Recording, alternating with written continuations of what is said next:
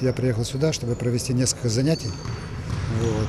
И по тем темам, которые они меня просили, чтобы провести э, э, практические занятия с тренерами и их игроками. Вот сегодня было первое занятие, завтра будет второе, послезавтра третье. И потом индивидуально на те тренеры, которые захотят, приду на их тренировки, что вот сейчас буду присутствовать, просматривать тренировку 94 -го года. Может тоже какие-то советы, если возникнут, я дам этим тренерам. Ну, думаю, что я уже больше 50 лет работаю тренером. Думаю, что что-то что, -то, есть такое, чтобы помочь молодым ребятам, особенно тем, которые э, хотят этой помощи. Вот. Поэтому, поэтому я здесь. Не видел, не видел э, команды, но на сборах сборной команды кадетов Украины э, присутствовал и работал с нами э, Максим Воробьев. Вот, э, два его воспитанника ездили на международный крупнейший международный турнир в Турции кадетов. Вот, думаю, что этот молодой человек тоже стоит на правильном пути, раз два человека уже попали в сборную. Вот. Теперь видел два года назад, три года назад э, Владимира Машеру, который ну, по разные годы тренирует разные возраста. Сейчас он работал, работает с 96 годом, которые сегодня мне помогали э, проводить это практическое занятие, или так называемый мастер-класс. Вот, в разное время э, разные команды и выиграли чемпионаты. И надеюсь, что появится все больше и больше смены в основной команде Азовмаша, потому что там только есть Бобров и Байда, которые уже играют, не будем считать э, Ивщина, потому что он не воспитанник, он проходил школу, проходил школу Азовмаша, вот, не является воспитанником. Бобров это тот человек, который играл за все возраста. Вот, и Байда можно тоже, его взяли с э, Черкасской области вот, в раннем возрасте, так что он прошел всю подготовку. Значит, два человека, можно сказать, которые были воспитаны в детском баскетболе Азовмаш. Мне очень трудно говорить о Мариупольской школе, потому что я не знаю. Я только наблюдаю за отдельными командами, которые играют на э, чемпионате Украины. Особенно 94-95 год. Те, которые я просматривал. Вот, и сейчас 21 э, начинается финал чемпионата Украины 94 юноши 94 -го года.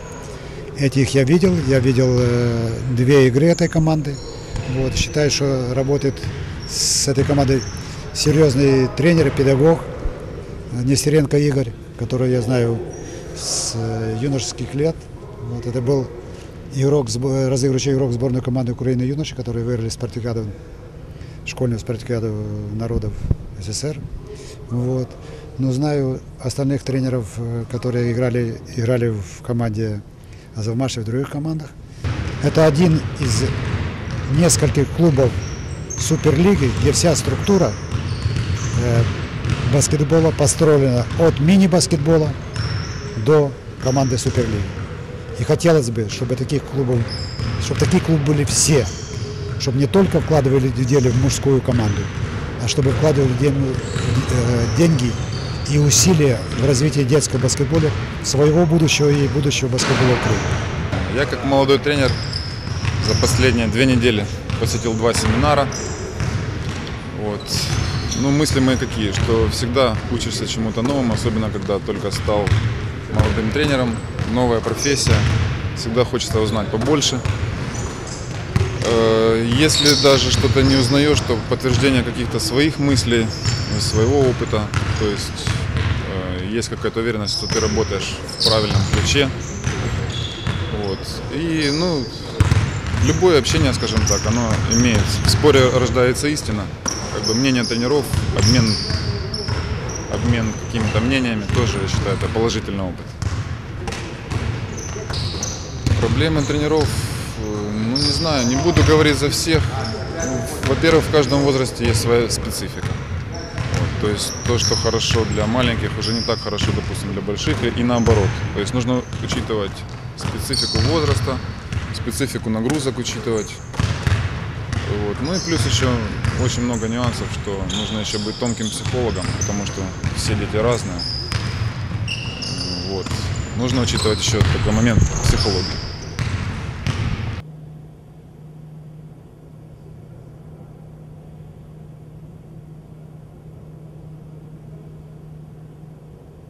Я спрашиваю. Витя Валерьевич, вы знаете, что такое? Конечно, а что это такое? Все время показывает. Потом он останавливает, останавливает, останавливает, рассказывает, вращается. И потихонечку камера поднимается. Потихонечку камера поднимается. И помните, где? В рождении судей. И вы представляете, на каждый, что баскетбол? Разок, в это время открылся передача передача. Я смотрел, я смотрел, я смотрел. Вдруг говорит такое, что тренировать был администратор, не был, который играл, помощник, Пешки.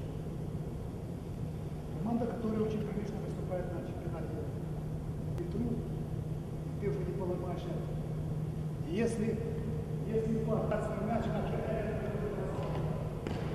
Жан не не подберет.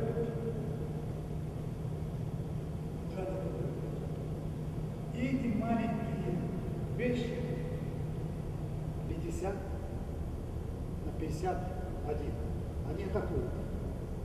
Потому что мы обратили внимание, что должен быть пас вперед, чтобы он моментально его обработал, бежал, забил, и мы бы победили.